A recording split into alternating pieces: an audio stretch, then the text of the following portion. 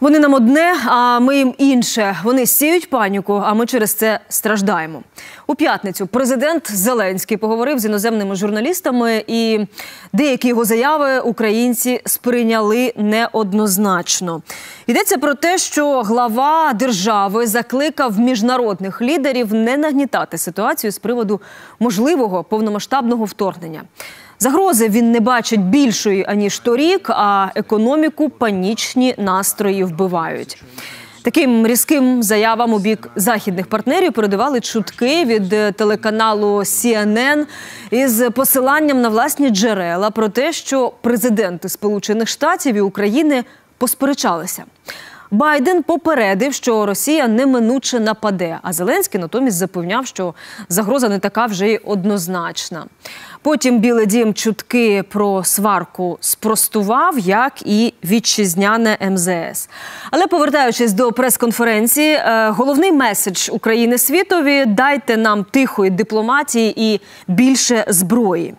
Чи доречним був цей посил за нинішніх умов і як він вплине на наші відносини з світом, ми поки що не знаємо. Але навряд чи йому аплодували наші західні партнери, які ще вчора надсилали нам літаки зі зброєю. Мирослава Танська продовжить. Що таке гранатомети, ракети, авіаснаряди і бомби? Як вони працюють? Чим вони небезпечні і як від них урятуватися в українських школах поспіхом вчать дітей, що робити у разі вторгнення агресора.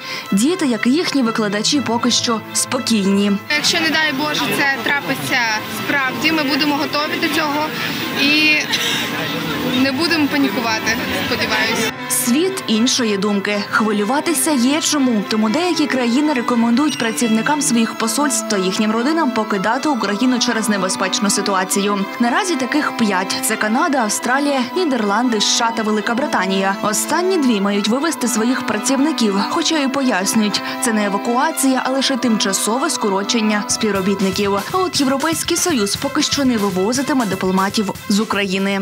Ми не плануємо робити те саме, що і США, оскільки ми не бачимо для цього якихось конкретних причин. Доки тривають переговори з Росією, я не думаю, що ми маємо приводу залишати Україну. Інформація про ймовірну російську загрозу вже понад два місяці не сходить зі шпальт закордонних змі. Світ масово надає фінансову та військову допомогу Україні.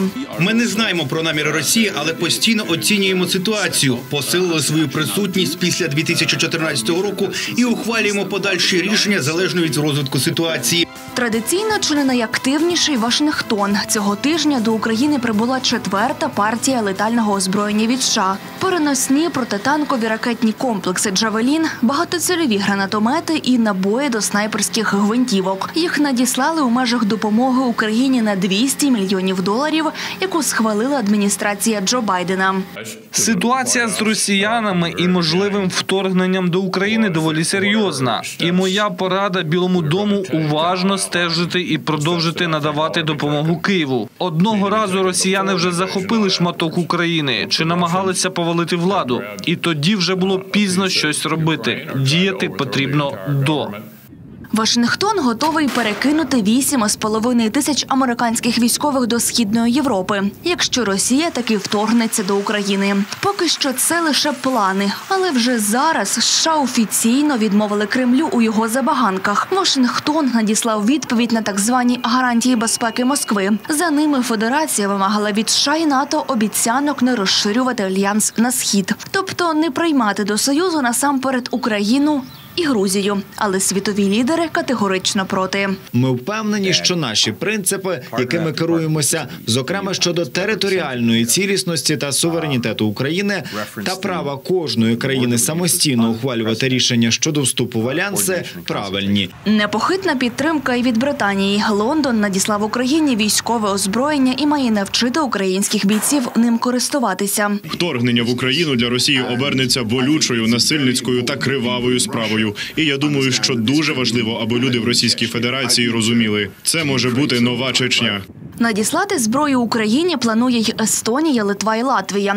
Це джавеліни і зенітно-ракетні комплекси Стінгер. Канада ще й готова поділитися даними розвідки і допоможе протистояти кібератакам. Виділить Києву 340 мільйонів доларів і три наступні роки тренуватиме українських військових.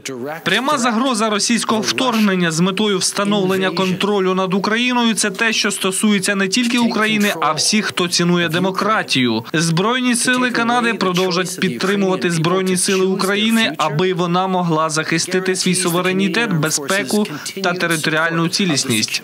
Долучитися до української групи підтримки вирішила і сусідка по чорноморському регіону. Туреччина хоче виступити посередницею в регулюванні кризи між Україною та Росією. Сподіваюся, що Росія не здійснить збройний напад і не окупує Україну. Такий крок не буде мудрим вчинком ні для Росії, ні для регіону. Є потреба в діалозі. Ми хочемо миру у нашому регіоні. Ми хочемо стабільності. Чи не єдина країна НАТО, яка залишається осторонь українських проблем Німеччина цього тижня глава військово-морських сил країни заявив, що Крим це Росія і більше не повернеться до України. І, хоча він і подав у відставку, осад залишився. Особливо на тлі того, що Берлін на відріз відмовляється давати Києву зброю. Мовляв, не можуть постачати летальне озброєння для зон конфлікту. Натомість німці заявляють, підтримують державу інакше. Наприклад, планують передати польовий шпиталь. І лише після нищівної критики заходу Берлін виділив Україні кілька тисяч військових касок. П'ять тисяч шоломів це важливо, і вони обов'язково знадобляться. Проте нам насамперед потрібна захисна зброя. Якщо Путін знатиме, що союзники нас не підведуть, якщо він бачитиме, що у нас є тисячі протитанкових ракет, то думаю, ймовірність війни знизиться, а не зросте. Німеччина відчуває е, провину за злочини нацизму під час Другої світової війни, але цю провину вона повністю перекладає чомусь тільки на Росію, е, забуваючи і про Україну, і про Білорусь, і про Польщу. Другий момент це е, економічна взаємозалежність між Німеччиною і Російською Федерацією, тому що Німеччині вигідно мати величезний російський ринок для того, щоб е, е, продавати туди все, що виробляється в Німеччині. Тим часом ситуація довкола України стає дедалі напруженішою. На українських кордонах зосереджено уже понад 130 тисяч російських військових, а це на 20 тисяч більше ніж минулого місяця. Але Київ просить світ не панікувати. Тікати з України президент Володимир Зеленський нікому не радить, а міжнародних лідерів закликає не нагнітати. Журналісти, якщо хочуть зрозуміти, яка ситуація, нехай вийдуть в Київ. У нас що їздять танки по наших вулицях? Ні. То але відчуття таке. Якщо ти тут не знаходишся, відчуття таке. Паніки не треба, санкції вже не завадять. Така позиція України. Світові ж лідери уже розробляють і готові запровадити суворі обмеження проти Кремля, якщо той вторгнеться до України. Насамперед йдеться про фінансові санкції, які можуть відключити Кремль від міжбанківської міжнародної системи SWIFT. Німеччина обіцяє припинити проєкт газогону Північний потік. 2 а Білий Дім не виключає запровадження персональних санкцій проти самого чільника Кремля. Це обмежить пересування російського президента, тобто він не зможе відвідувати міжнародні заходи. А це фактично може розірвати усі відносини з Вашингтоном чи будь-якою іншою країною, яка наклала б такі санкції проти Путіна. Тож питання повномасштабного вторгнення залишається відкритим. Чи наважиться Путін, ніхто не знає. Світові аналітики припускають, що нині кремлівським солдатам може зашкодити мороз, а ще зимова олімпіада у Пекіні. Нібито Путін не хоче завадити Сіндзіпіню і його змаганням. Мирослава Танська, підсумки тижня.